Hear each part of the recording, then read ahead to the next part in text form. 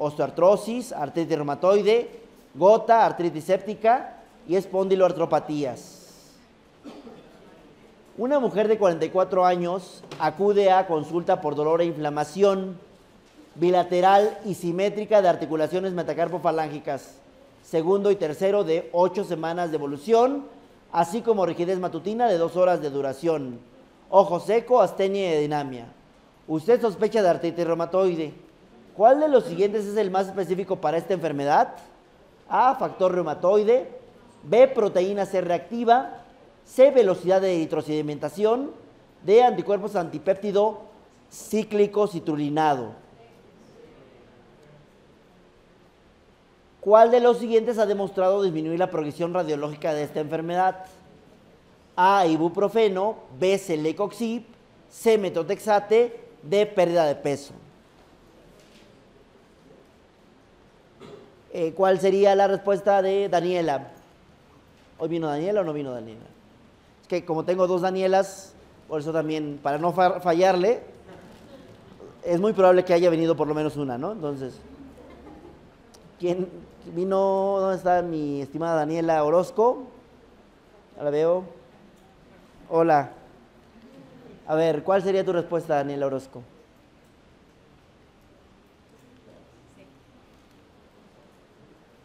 De, las, de la segunda pregunta, perdón.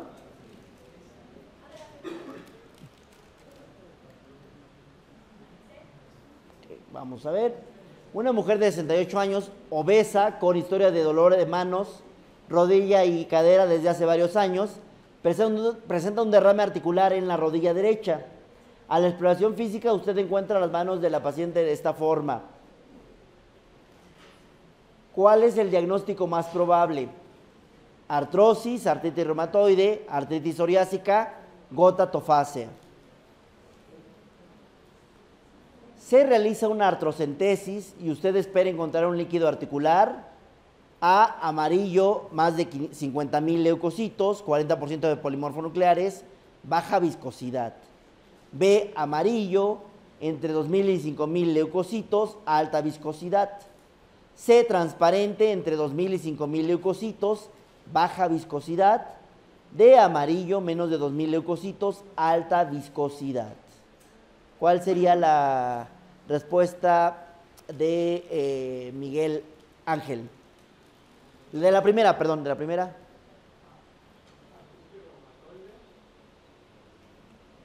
Tú dirías que artritis reumatoide, ¿no? ¿Te parece? ¿Sí tiene rigidez? ¿Tiene rigidez? Mujer obesa. Historia de dolor en manos, rodillas y caderas. Desde hace varios años presenta un derrame articular en la rodilla derecha. Artrosis. Se realiza una artrocentesis y usted espera encontrar un líquido. Alejandra, ¿cuál sería la eh, respuesta que escogeríamos?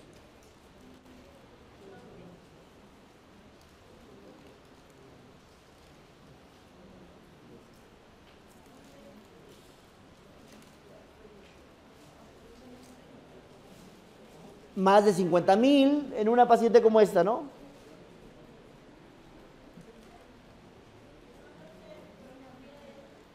Tú pondrías D. También estaría muy de acuerdo contigo. Y entonces tenemos que un paciente con artralgia, una de las cuestiones que tenemos que preguntarnos, ¿verdad? Hablábamos de la triada de Celso, ¿no? Rubor, calor y dolor, ¿verdad? Hay quien agrega eso, tumor, o sea, aumento de volumen. Y eso me habla de inflamación. Junto con esto, tengo que ver si hay rigidez. Si ninguno de estos datos, entonces el paciente no tiene artritis. Y entonces una artralgia traumática o, artrosis, ¿verdad? Si sí lo tiene, entonces el paciente, debo, me debo preguntar si tiene antecedente traumático. Si tiene antecedente traumático, pues puede ser por trauma de rodilla, ¿no? ¿Es el primer cuadro de, eh, y tiene un inicio agudo? No, pues se va a la artritis crónica. Sí, artritis aguda, ¿verdad? ¿Es monoarticular? Bueno, pues si, si es monoarticular, el paciente tiene factores para gota, factores de riesgos, alcohólico, eh, eh, tiene antecedentes de síndrome metabólico, tiene antecedentes de hiperuricemia, sí, le encanta la cerveza, ¿verdad? Sí, pues evaluar para gota, ¿no? No evaluar artritis séptica, que una de las pocas urgencias reumatológicas, artritis séptica. ¿no? no hay tantas urgencias reumatológicas. La otra sería artritis de la temporal, ¿no? ¿Verdad? Pero, urgencia eh, es un, poco, es bueno esto porque, eh, que comenta Yolo, porque urgencia definida como todo aquello que pone en peligro la vida o la función. No es grato tener dolor, sin duda. Y entonces el paciente tiene una urgencia sentida, para él es lo más importante. Pero es en realidad una urgencia bajo la definición médica, ¿eh? no es que se me haya ocurrido a mí, porque a algunos les puede parecer dura, tal vez a Yolo de, eh, bueno, pues es que no es una urgencia. Bueno, urgencia porque no pone en peligro la vida o la función, pero de que es muy molesto tener una dolor, por ejemplo, sí. La gota es mucho dolor, pero urgencia, urgencia como tal, no. En cambio, la artritis séptica puede poner en peligro la vida o la función. Por tanto, en este caso la, la función primero, ¿verdad? Pero si la dejas, incluso la vida, ¿no? Hace sepsis. Entonces, artritis séptica es una urgencia reumatológica.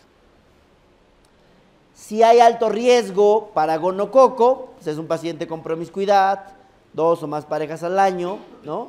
Entonces, estreptococo, eh, bueno, eh, artritis séptica gonocócica, o sea, por Neisseria gonorrhoeae. No, ah, pues entonces el paciente ha tenido algún trauma o es diabético, ah, pues eh, Staph aureus. Casi siempre esta se presenta pues en, en jóvenes, ¿no? De 20 a 30 años los pacientes con, eh, sexualmente más activos. En cambio, esta, eh, estos pacientes son de mayor edad, 40, 50 años, cae siempre con un golpe, alguna enfermedad predisponente. Si me queda duda, pues hago una punción, ¿verdad? Y voy a cultivar. Del otro lado, del otro extremo, decíamos, si es el primer cuadro y de inicio agudo, estoy ante una artritis aguda, eh, dando por descontado que tiene estos datos, me pregunto, ¿es oligoarticular o poliarticular? Si, si es oligoarticular o articular y no monoarticular, me tengo que preguntar a continuación, ¿predomina en la región sacroiliaca? Si sí, pues evaluar una espondiloartropatía. No, predomina el miembro superior. Si no, pues evalúo otras causas. Si sí, predomina en la articulación interfalángica distal, artritis psoriásica. Ustedes me dirán, también en la, en la artrosis predominan las distales. Sí, pero aquí hay datos francos de artritis. Entonces la, osteoartrosis quedó por acá, ¿verdad? Sí, uh, predomina interfalángica proximal. ¿Cuál es ¿Qué es lo que pienso? AR, artritis reumatoide. O sea, interfalángicas proximales, artritis reumatoide, interfalángicas distales, artritis psoriásica.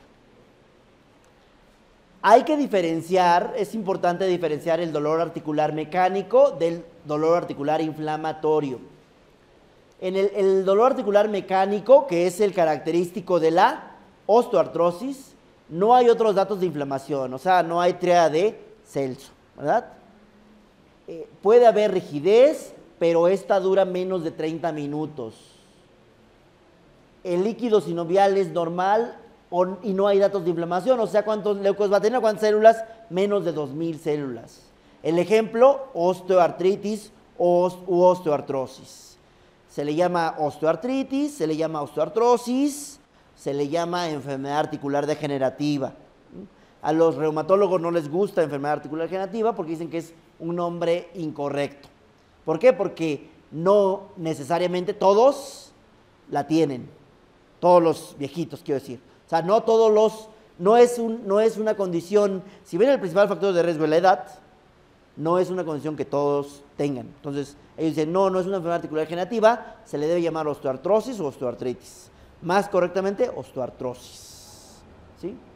Eh, si, es, si hay dolor articular inflamatorio, eh, con la triada que ya vimos de Celso, hay eritema, hipertermia, hay dolor y además hay aumento de volumen, eh, hay rigidez matutina eh, mayor, casi siempre cuando eso se presenta es mayor a una hora. El líquido sinovial es característicamente inflamatorio, ¿no? Característicamente inflamatorio, o sea, más de 2000 y con frecuencia eh, más de 20.000 células, ¿verdad? Aunque no siempre más de 50.000, que es más característico de algo infeccioso. ¿Cuál es el, ejemplo característico de ello? Artritis reumatoide, ¿no? Dolor articular inflamatorio, artritis reumatoide. Entonces, es como para contrastar una causa y otra y las características clínicas acompañantes. Entonces dijimos que dependiendo de las consideraciones, la punción me iba a ayudar mucho. Si la punción es eh, o arroja más de 2.000 leucos con más del 50% de polimorfonucleares, a esto le, pongo el apellido de inflamatorio. Si además de tener este apellido de inflamatorio, tiene no solo más de 2.000, sino más de 50.000 leucos y más de 75% de polimorfonucleares, o sea, predominan los polimorfonucleares, entonces pienso en una séptica, ¿verdad? Si no, si no se presenta esto, si no hay un gram, si no hay un cultivo positivo y sobre todo si no tiene estos recuento de leucos, pues entonces eh, pienso en una no séptica.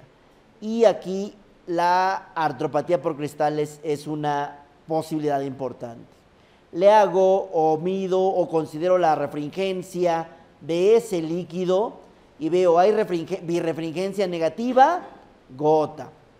Hay birefringencia positiva, cristales de pirofosfato cálcico, la llamada pseudogota. No hay ningún eh, tipo de comportamiento de este tipo, entonces es una artritis reumatoide, ¿verdad? Eh, un líquido inflamatorio, pero sin eh, algún tipo de comportamiento de la luz polarizada. Por otra parte, si no es inflamatorio, si no cumple esas características, si tiene sangre, pues esto, entonces este puede ser una hemartrosis, como las vemos en la hemofilia. No, bueno, pues los leucos son menores a 2000, líquido claro, menos de 3, o sea, es escaso. Sí, esto es normal. No, pues una afección mecánica. Y aquí podría caer qué? Aquí podría caer la osteoartrosis, ¿verdad? Dijimos. Empezamos con la osteoartrosis. La edad es el principal factor de riesgo. Normalmente se presentan hombres y mujeres mayores de 65 años.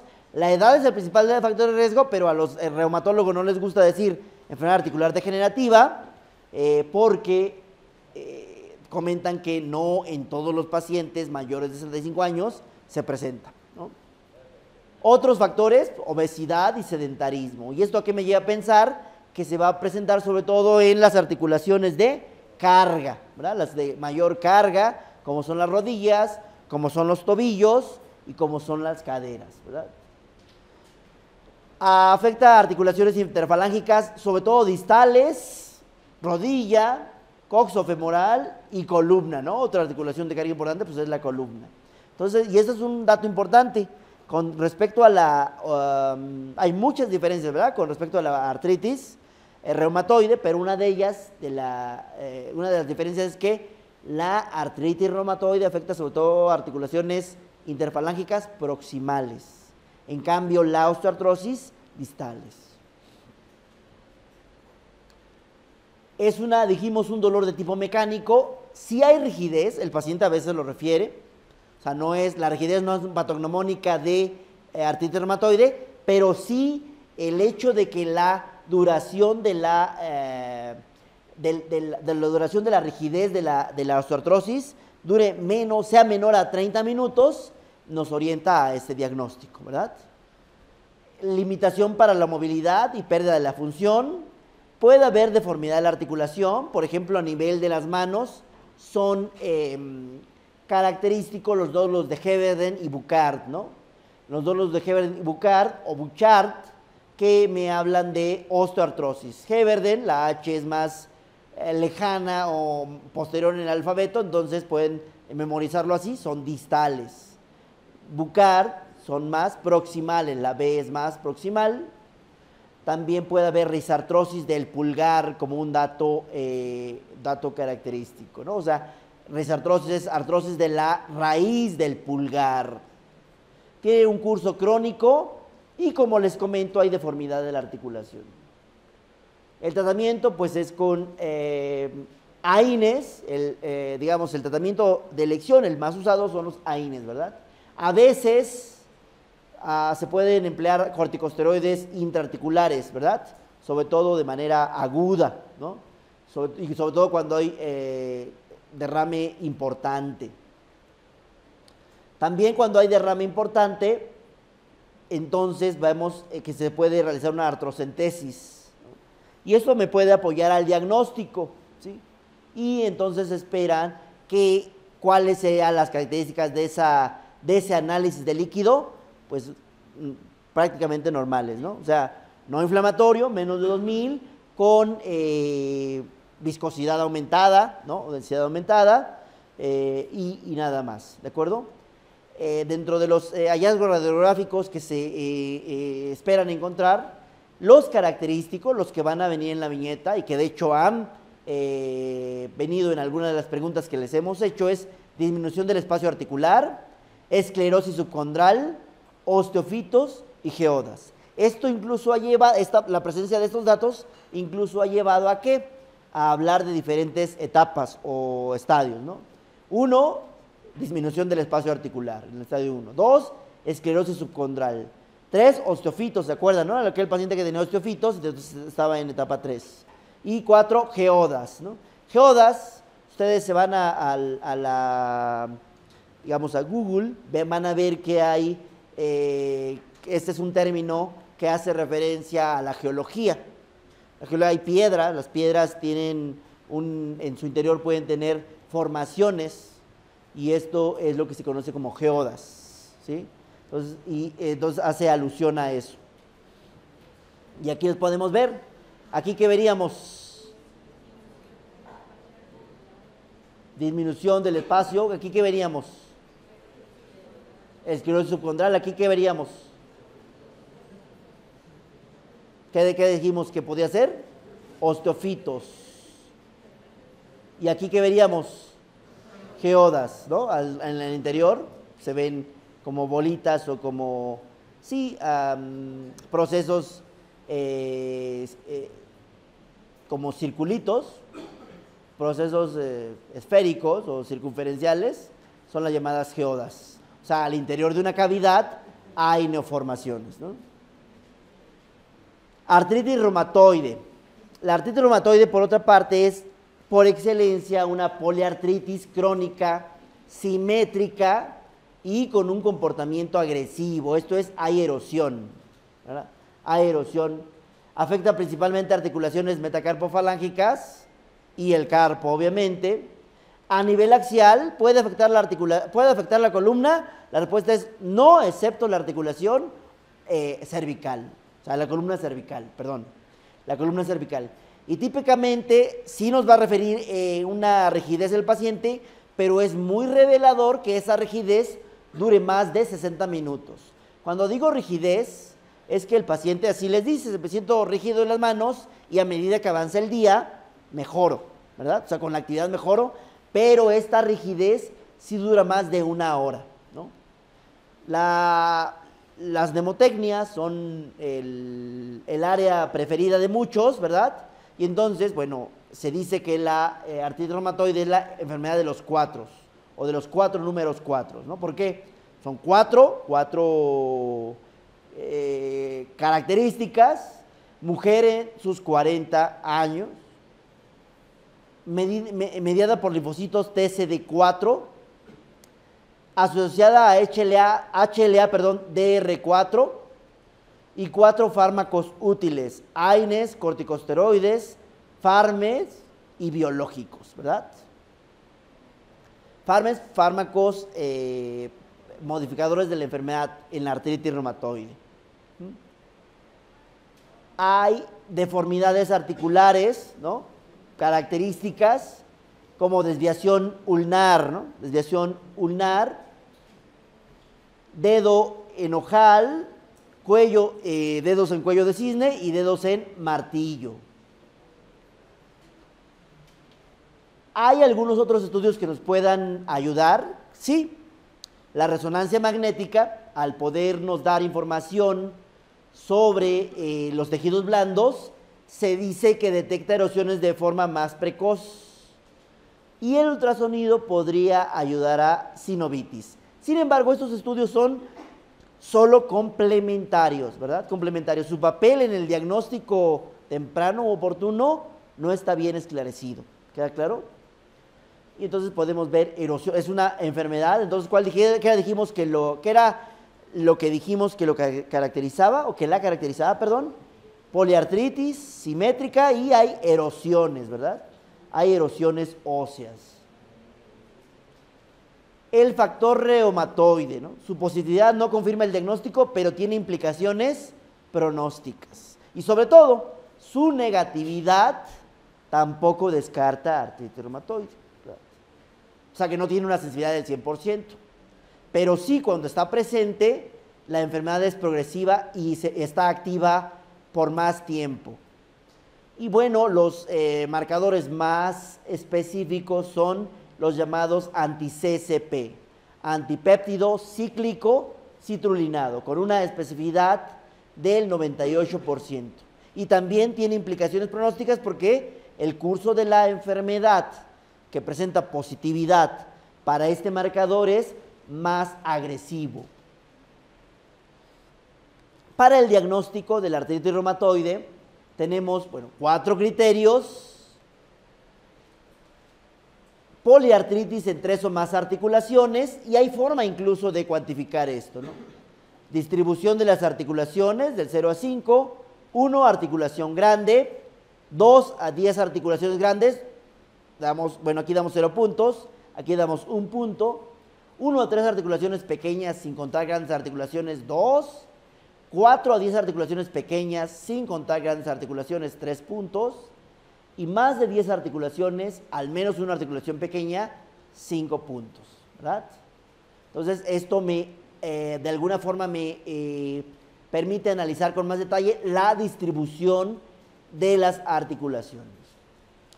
Es eh, el segundo criterio, serología, ya sea factor reumatoide o antipéptido cíclico citrulinado, ¿no?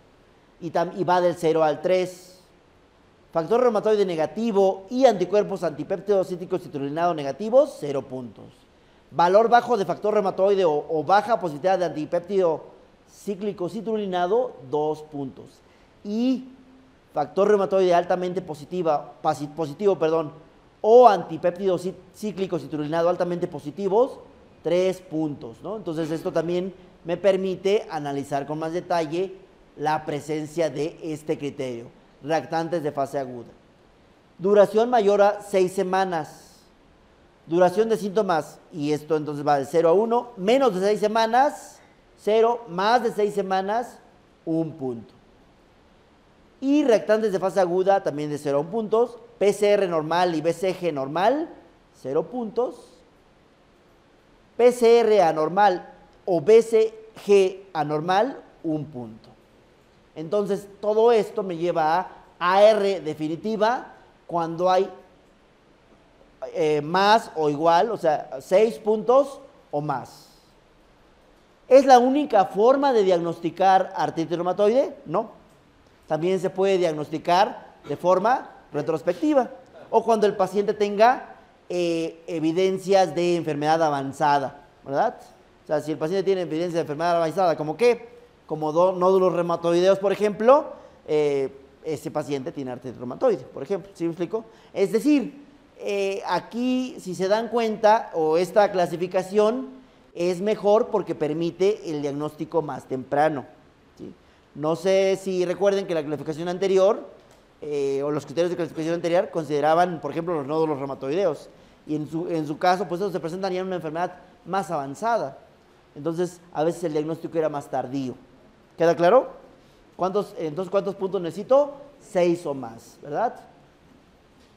El tratamiento del artritis reumatoide es con AINES y en este sentido a lo que se está dirigido este tratamiento es al dolor y a la inflamación.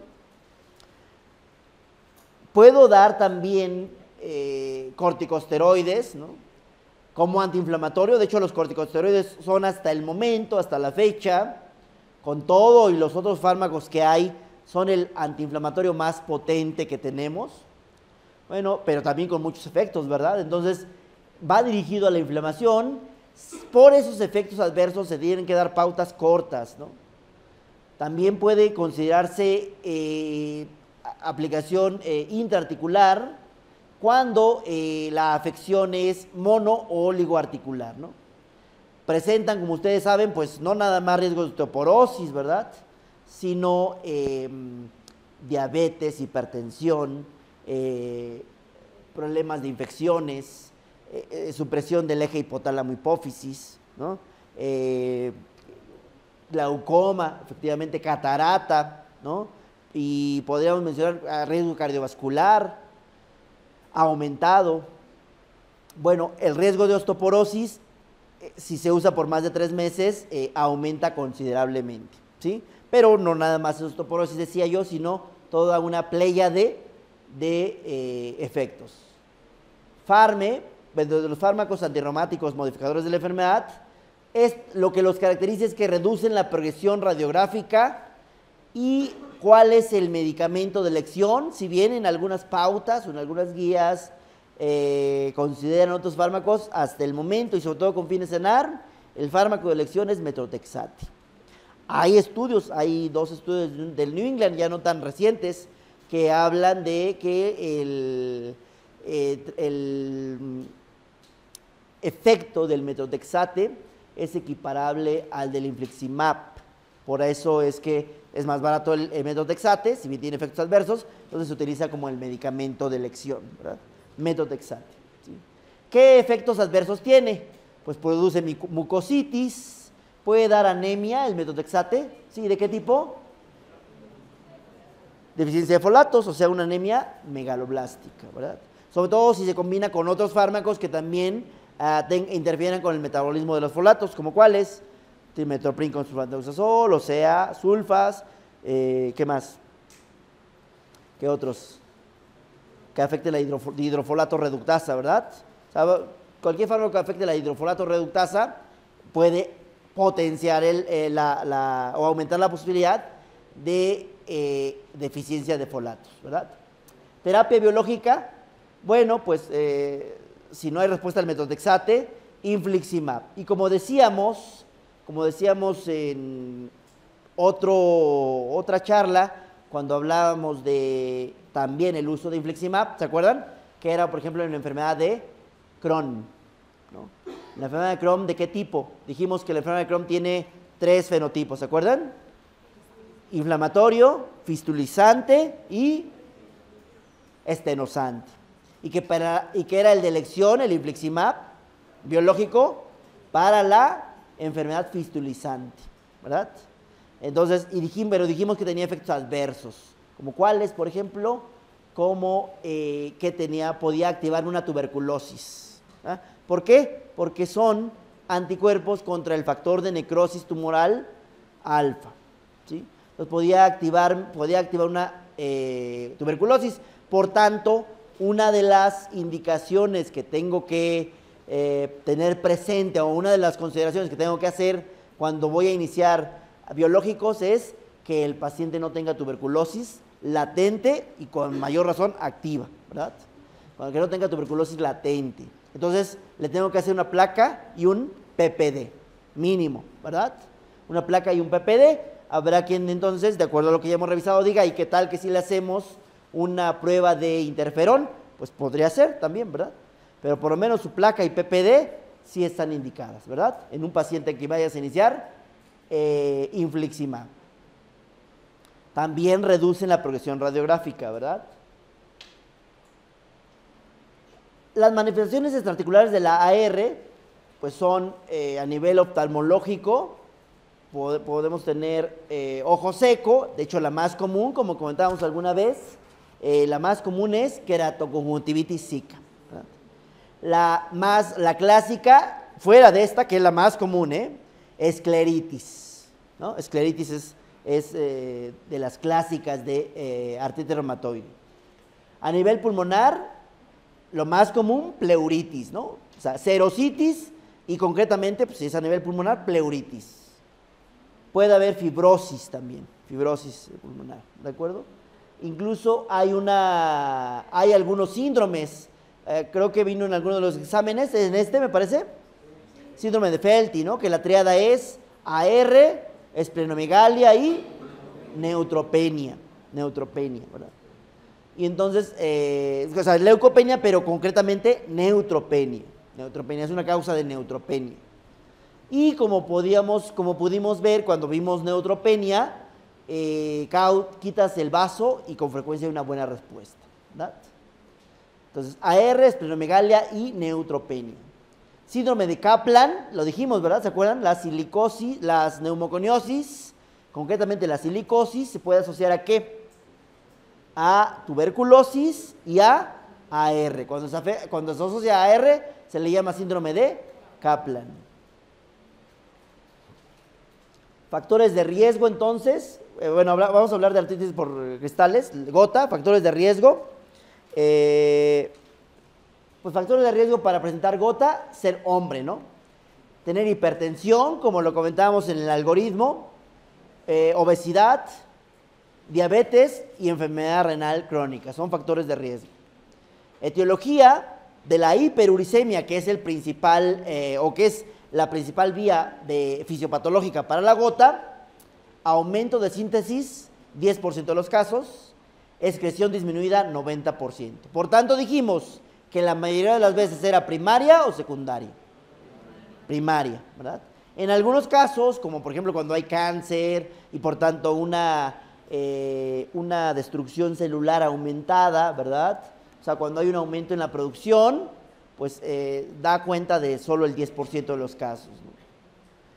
La hiperuricemia asintomática no debe tratarse. Y alguien me va a decir, bueno, pero ¿qué tal que si tiene afección renal, etcétera? Entonces no es ya asintomática. ¿Sí me explico?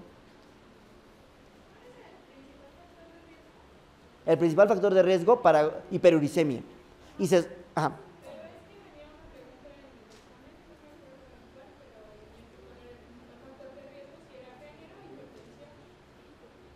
Ah, es que era, hacía alusión a un tipo de artritis gotosa, que era la atofasia, ¿no? ¿Sí se acuerdan? Se hacía alusión a la artritis, o sea, la artritis gotosa atofasia es, primero, es una manifestación crónica, y dos, se presenta más frecuentemente en ciertos pacientes, como aquellos que son obesos, que tienen hipertensión, ¿sí me explico? Entonces, en, general aquí es el principal factor, que incluso, eh, principal factor subyacente, la hiperuricemia. Y casi siempre la hiperuricemia es por falta en la excreción, en este caso. ¿sí? Pero hay otros factores. Dentro de la misma gota, sí. O sea, aunque no sea atofasia, hay otros factores. ¿Como cuáles?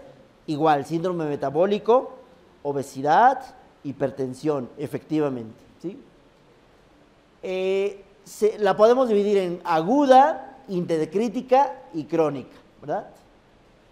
La aguda es de tipo monoarticular, o sea, ¿qué, cómo se manifiesta característicamente la gota? De forma monoarticular.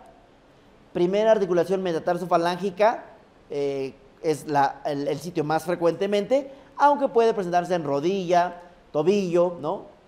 Puede haber síntomas sistémicos y el dolor es importante. ¿Es una enfermedad o una artritis erosiva? Sí, sí es una artritis erosiva, ¿verdad? Eh, ¿Qué tipo de lesiones da?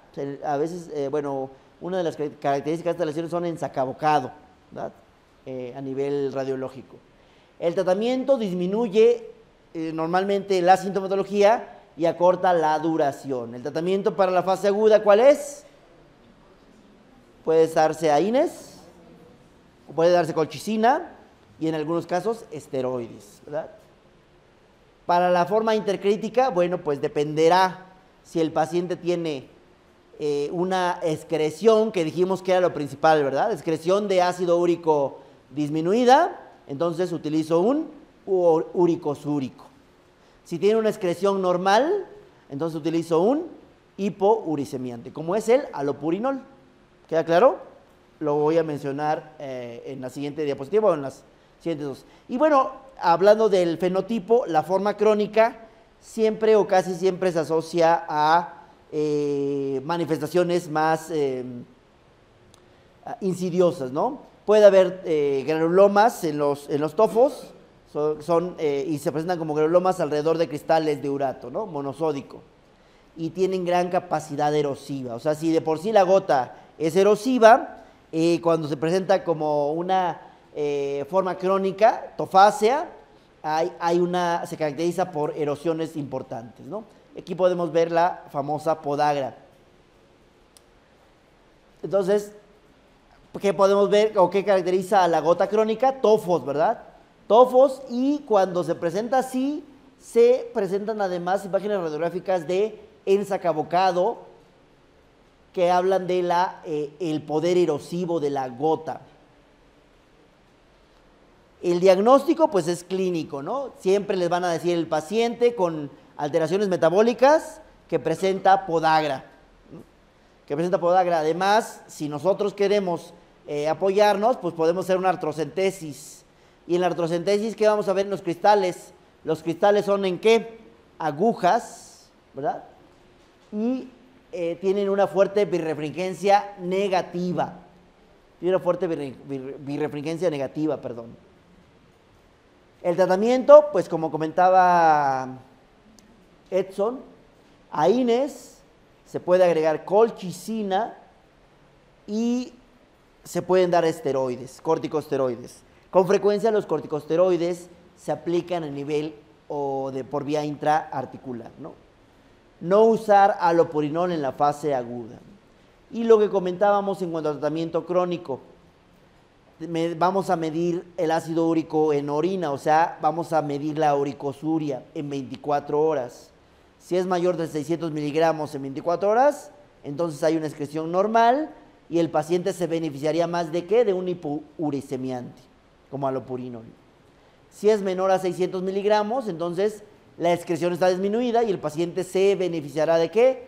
De un uricosúrico, como probenecit.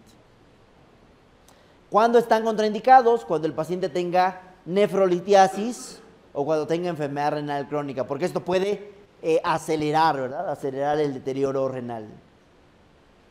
En este cuadro comparativo podemos ver algunas de las características de, los cristales. Y aquí tenemos forma de cristal, eh, birefringencia, líquido sinovial, o sea, las características, radiología, localización más frecuente, diagnóstico, edad más frecuente y aquí la presentación y o entidad clínica, ¿verdad?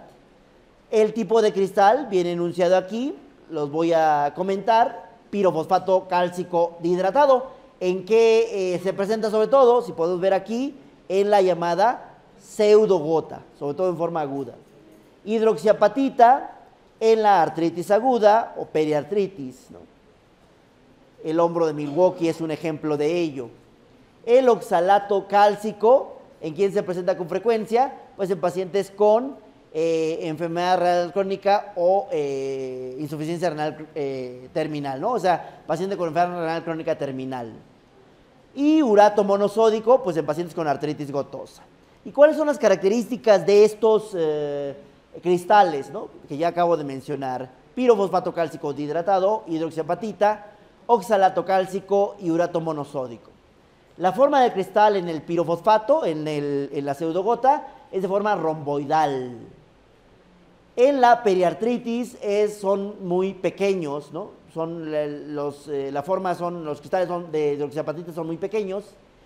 En el oxalato eh, cálcico, los cristales de oxalato cálcico son, eh, la forma es bipiramidal.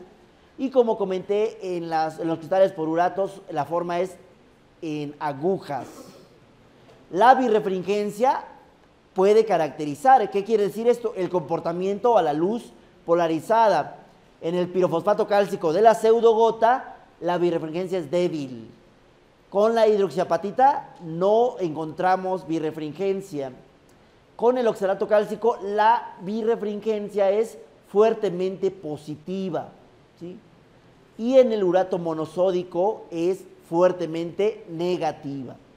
Por ahí hay algunos artículos donde hablan de birrefringencia positiva para gota como un hallazgo eh, de actualidad, etcétera, con fines en NARM, eso no, ¿no? De hecho, incluso hay artículos del Instituto Nacional de la Nutrición de que les encanta, este, yo hay, hay muchos pacientes con gota en, el instituto, ¿no? Entonces, este, pero con fines en ARM, eh, birrefringencia fuertemente negativa, ¿verdad? las características del líquido sinovial, en el caso de la pseudogota es inflamatorio, eh, normalmente también puede haber eh, mecánico, artropatía por microcristales, en la hidroxiapatita o eh, afección por hidroxiapatita mecánico, oxalato cálcico mecánico y en, el, en la gota inflamatorio, por supuesto.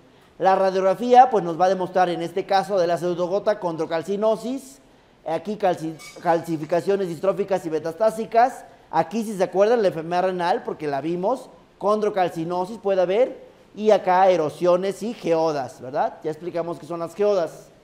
La localización más frecuente en este caso, pues las de carga, rodilla, eh, también en articulaciones de un uso muy importante como muñeca, tobillo, carpo. En, la hidroxiapatita también, rodilla, hombro. En eh, los cristales por oxalato cálcico, rodilla y manos. Y aquí, como saben, la clásica es la podagra, pero también puede haber en rodilla, tobillo y tarso. El diagnóstico microscópico, por, eh, bueno, en el diagnóstico ayuda eh, obviamente la polarización del microscopio. En este caso ayuda mucho que se tiña de rojo con alizarina roja y también hay polarización para el oxalato cálcico, ya dijimos que era fuertemente positiva y también aquí el comportamiento de la luz polarizada nos ayuda porque es fuertemente negativa. Edad más frecuente, ancianos con artrosis, decíamos, es el, eh, el escenario típico. Y si es menor de 50 años, hay que pensar en alteración metabólica o hereditaria, ¿no? Aquí, hidroxiapatita en ancianos y en oxalato cálcico, eh, oxalosis secundaria, ¿verdad? A insuficiencia renal, que dijimos que era hecho el escenario típico, ¿no? Y aquí en pacientes, pues el, es varón de la quinta década de la vida, el escenario típico. Y ya dijimos entonces los, eh, las entidades, pseudogota, lo característico, artritis aguda, periartritis, hombro de Milwaukee, aquí la sinovitis que caracteriza al paciente con enfermedad renal crónica, o las afecciones del paciente con enfermedad renal crónica, y aquí la artritis gotosa. Artritis séptica, ¿no? La artritis séptica, otra entidad de la que tenemos que hablar, se caracteriza por eh, que con frecuencia hay traumatismo. Cuando hay traumatismo, casi siempre pensamos en Staph aureus. Si es un hombre o mujer con actividad sexual importante, que tiene promiscuidad, entonces pensamos en gonococo. En niños menores no vacunados, hemófilos influenza. Y el tratamiento, aquí siempre dicloxacilina, si es meticilino sensible, puede, podemos dar eh, gentamicina, en su defecto, o si el paciente tuviera, fuera meticilino resistente, clindamicina, o si es en el contexto interhospitalario, vancomicina. Eh, actividad sexual, pues para gonococo damos ceftriaxona y para hemófilos influenza cefotaxima, ¿verdad? La principal vía de diseminación es hematógena, sin duda alguna, ¿no? Y es una urgencia reumatológica u ortopédica, ¿no? Entonces es una urgencia que tenemos que considerar. Para el diagnóstico, pues la artrocentesis es muy reveladora porque nos va a decir que hay gran cantidad de leucos, más de 50 mil. El GRAM es positivo en la mitad de los casos nada más. El cultivo, cuando, cuando es positivo, nos puede orientar. Entonces, el líquido sinovial característicamente tiene más de 50 mil leucos, glucosa baja y proteínas elevadas. En cuanto a las eh, espondiloartropatías, otro grupo de entidades, podemos abordarlas en este cuadro. Las principales o las más representativas son, ¿y por qué digo las principales o más representativas? Porque hay otras formas, como por ejemplo la artritis eh, asociada a la enfermedad inflamatoria intestinal, ¿no? de la que en algún momento hablé, pero ahorita las, de las que voy a hablar es espondilitis anquilosante, artritis psoriásica, artritis reactiva o síndrome de Reiter. Eh, tratando de hacer eh, un cuadro comparativo, podemos considerar que la espondilitis anquilosante es positiva para HLA-B27 en el 95% de los casos, ¿verdad? Entonces por eso dice que es muy, muy, muy, muy frecuente. Artritis psoriásica es positiva para HLA-27 a veces y artritis reactiva es positiva en el 50% de los casos. ¿Sí? ¿Me explico? Eh, ¿Cuál es eh, la triada de la artritis reactiva? Conjuntivitis, artritis y uretritis. ¿Sí? La, la, espondilitis anquilosante, las articulaciones axiales son eh, obviamente las que más afectan, inicia como una sacrileitis, ¿verdad? Y tiene un patrón ascendente. En la artritis psoriásica, cualquier nivel, predominan los miembros superiores. ¿Cuál dijimos? Interfalángicas eh, distales y proximales. ¿Cuál más característicamente? Distales. ¿Sí? Distales. O sea, se parece un poco a la osteoartrosis, nada más que la osteoartrosis no es inflamatoria. Y se diferencia de ello de la artritis reumatoide, que la psoriásica afecta más las distales. Con fines cenar, esto también tiene importancia mayúscula, ¿verdad? Y la artritis reactiva, eh, Reiter, se caracteriza por oligoartritis no erosiva y predomina en miembros inferiores. En cuanto a la afección ocular, aquí, aquí se caracteriza por uveitis unilateral igual que la artritis psoriásica, y aquí por conjuntivitis. De hecho, es parte de la eh, triada, conjuntivitis, artritis y uretritis.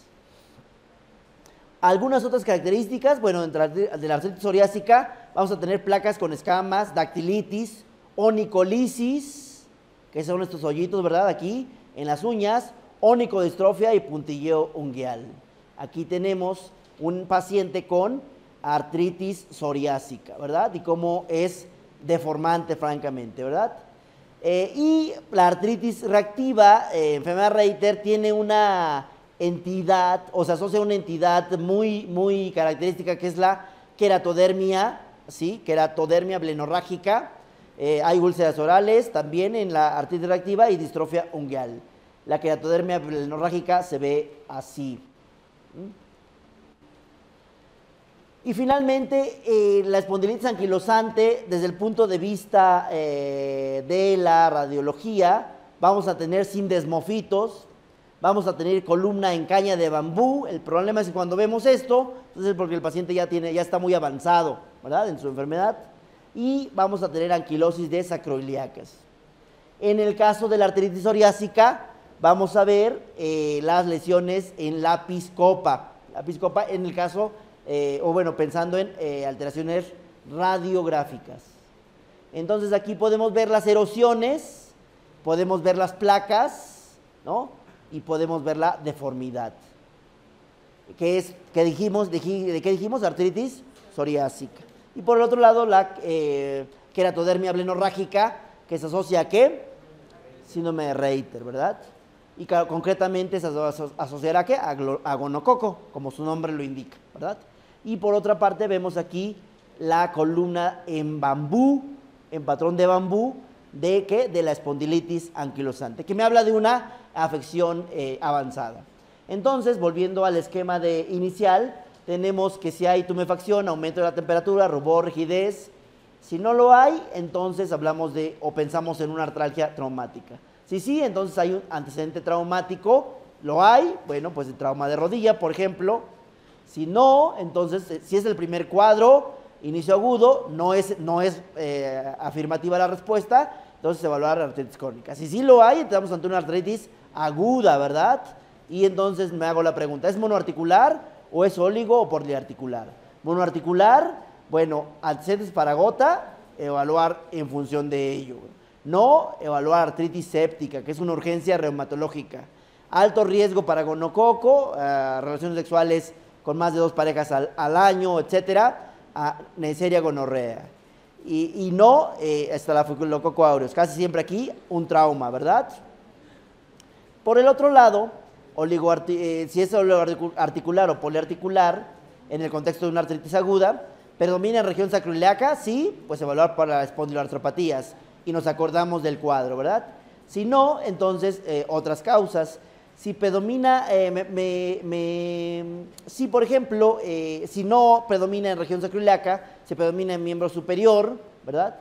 Se predomina en miembro superior, eh, afecta a interfalángicas distales, artritis psoriásica. Característicamente, si predomina en interfalángicas proximales, artritis reumatoide. Y si no es el caso, evaluar otras causas. Entonces, el dolor articular como corolario se clasifica en inflamatorio y no inflamatorio. La citología y química son auxiliares en el diagnóstico diferencial.